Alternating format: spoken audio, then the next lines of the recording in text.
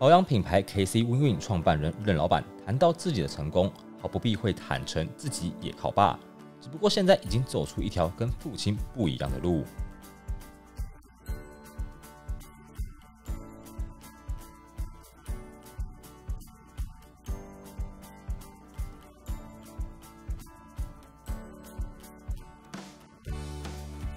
蔡澜任的父亲蔡耀义曾是北市化妆品商业工会理事长，从小家境算是优渥，但也因此在年轻时走歪路，从富二代变成因为贩毒入狱的更生人。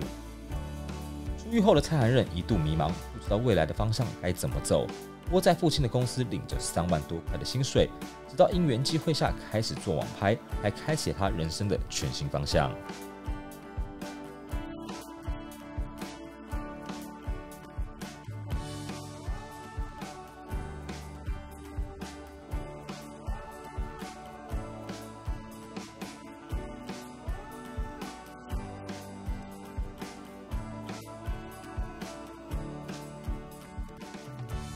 蔡任靠着家里的人脉取得保养品的货源，到自己最熟悉的夜店，向夜猫子们推销熬夜霜产品。透过网红与 KOL 的推荐，成功在网络上打开销路。但因为广告投放跟电商效果不如预期，才让他有了新的想法。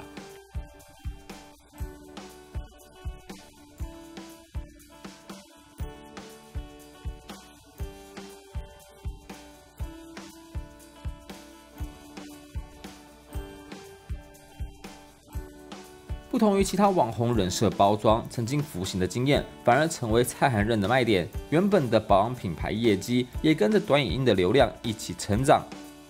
见识到短影音行销的威力，蔡涵任的商业触角就从保养品延伸进影音制作公司，投资了威力王的穿透行销，并且透过自身的经验，开始帮助其他产业拍摄短影音做行销。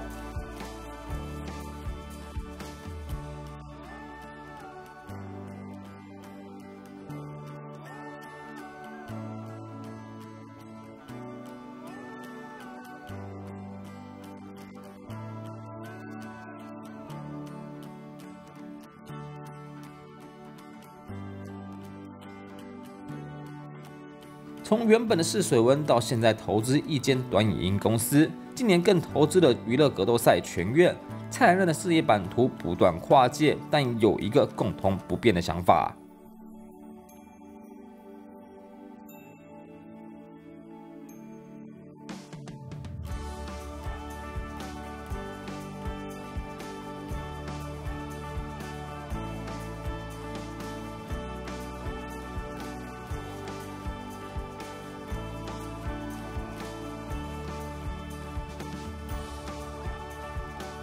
浪子回头四个字，可说是蔡含任的最佳写照。从过去家里最需要担心的孩子，到现在成为亿元资本集团创办人，可说是自己开创了一条全新的道路。